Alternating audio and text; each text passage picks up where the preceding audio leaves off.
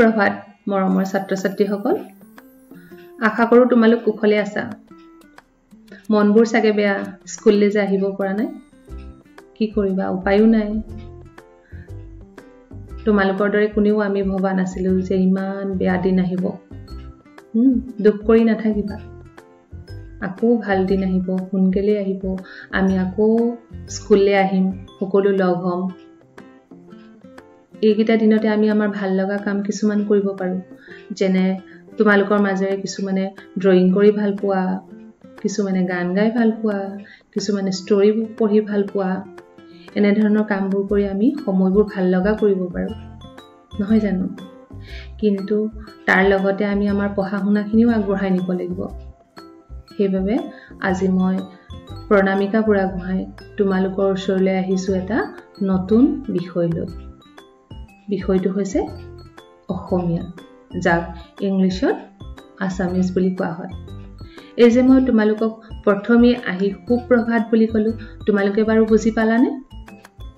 আমি যে ইংলিছত গুড মৰ্ণিং বুলি কওঁ তাকে অসমীয়াত সুপ্ৰভাত বুলি কয়। তোমালোকে আগৰ শ্ৰেণীসমূহত ইংলিছ আৰু হিন্দী পঢ়িছা আৰু লিখিছা কিন্তু অসমীয়া বিষয়টো তোমালোকৰ বাবে একেবাৰে নতুন।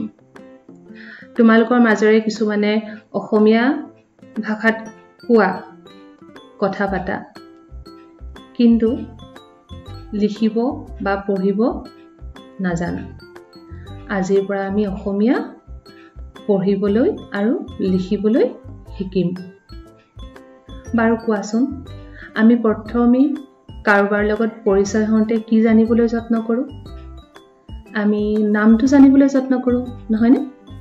ঠিক সেইদৰেই আজি আমি অসমীয়া বৰ্ণমালাসমূহ অৰ্থাৎ অসমীয়া এলফাবেটসমূহৰ বিষয়ে জানিবলৈ যত্ন কৰিম। আমি অসমীয়া বৰ্ণমালাৰ নামবোৰ জানিম। আজি প্ৰথম দিন হিচাপে আমি জানিম অসমীয়া বৰ্ণমালাৰ স্বৰবৰ্ণসমূহ। যাক আৰু এটা নাম অফলা বুলিও জনা যায়। আজি আমি তেনেহ'লে অসমীয়া স্বৰবৰ্ণসমূহৰ নামবোৰ জানিম শিকিম। মৰমৰ ছাত্ৰ ছাত্ৰীসকল এতিয়া আমি অসমীয়া স্বৰবৰ্ণসমূহৰ সৈতে চিনাকি হ'ম। এয়া যে দেখিছা তোমালোক এয়া হৈছে আমাৰ অসমীয়া স্বৰবৰ্ণসমূহ। এতিয়া তোমালোকে মনোযোগেৰে শুনি যাবা। মই আখৰসমূহৰ নামবোৰ পঢ়ি যাম। অ আ হস্ৰই দীৰ্ঘই হস্ৰৌ দীৰ্ঘৌ ৰি এ ঐ উ ছাত্ৰ ছাত্ৰীসকল তোমালোকে শুনিলা নহয়? প্ৰায় হিন্দীৰ নিচিনাই নহয়নে? এতিয়া মই আকৌ পঢ়ি যাম আৰু তোমালোকে মনোযোগেৰে শুনিবা আৰু লগতে মোৰ লগে লগে মাতি যাবা। দেই। অ আ হস্ৰই দীৰ্ঘই হস্ৰৌ দীৰ্ঘৌ ৰি এ ঐ উ ঔ ছাত্ৰ ছাত্ৰীসকল তোমালোকে নিশ্চয় বুজি পাইছা নামবোৰ আখৰসমূহৰ নামবোৰ বুজি পাইছা আৰু ঘৰত তোমালোকে নিজে মাতিবলৈ যত্ন কৰিবা। মৰমৰ ছাত্ৰ ছাত্ৰীসকল আমি আগৰ ভিডিঅ'ত অসমীয়া বৰ্ণমালাৰ স্বৰবৰ্ণসমূহ অৰ্থাৎ অফলাৰ সৈতে চিনাকি হৈছিলোঁ। বৰ্ণসমূহৰ নামবোৰ জানিছিলোঁ। তোমালোকে নিশ্চয় ঘৰত সকলোৱে নিজৰ ফালৰ পৰা বৰ্ণমালাসমূহ পঢ়িবলৈ যত্ন কৰিছা নামবোৰ মনত ৰাখিবলৈ যত্ন কৰিছা। এতিয়া মই বৰ্ণমালাসমূহ খেলি মেলিকৈ দেখুৱাই যাম আৰু তোমালোকে ক'বলৈ যত্ন কৰিবা। দেই এয়া কোৱাচোন এইটো কি বৰ্ণ? কি বৰ্ণ এইটো? দীৰ্ঘই হয়নে? এতিয়া কোৱাচোন এইটো কি বৰ্ণ? এইটো হৈছে আ। তাৰপিছত এয়া চাবা দেই এয়া কি ওলালে? এইটো কি বৰ্ণ? এইটো হৈছে দীৰ্ঘৌ দীৰ্ঘৌৰ পিছত কি? ৰি।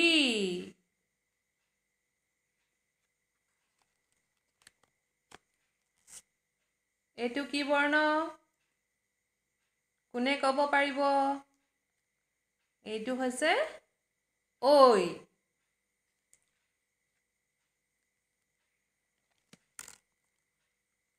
এইটো কি বৰ্ণ কোৱাচোন? এইটো হচৌ কি? এইটো হচৌ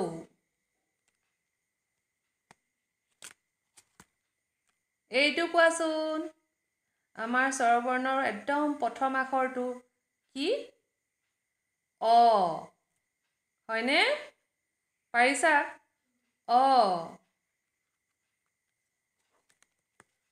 এইটো কি বৰ্ণ কোৱাচোন। ইয়াৰ নামটো হৈছে হস্ৰই। কি নাম? হস্ৰই। পাৰিছানে? বাৰু এতিয়া কোৱা এইটো। এইটো কি বৰ্ণ এ। হয়নে? কি নাম? এ। এইটো কি বৰ্ণ? ইয়াৰ নামটো কি? ঔ। এইটো হৈছে আমাৰ স্বৰবৰ্ণৰ আটাইতকৈ শেষৰ বৰ্ণটো। নামটো ঔ। এইটো হৈছে উ। পাৰিছানে তোমালোকে? এইদৰে খেলি মেলিকৈ দিলে তোমালোকে নিশ্চয় পাৰিবা।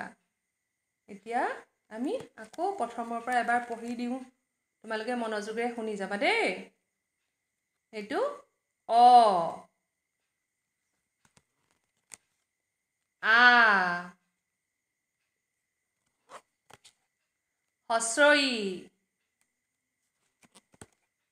দীৰ্ঘই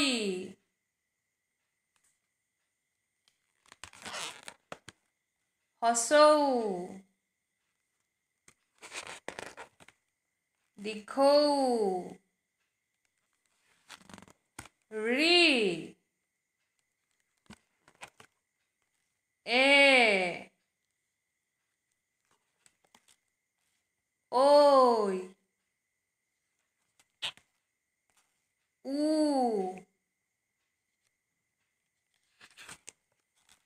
ঔ এয়া দেখিলানে? আমি স্বৰবৰ্ণসমূহ পঢ়িলোঁ। আৰু এতিয়া তোমালোকে ঘৰত সকলোৱে নিজে পঢ়িবলৈ যত্ন কৰিবা আৰু মনতো ৰাখিবা। বাই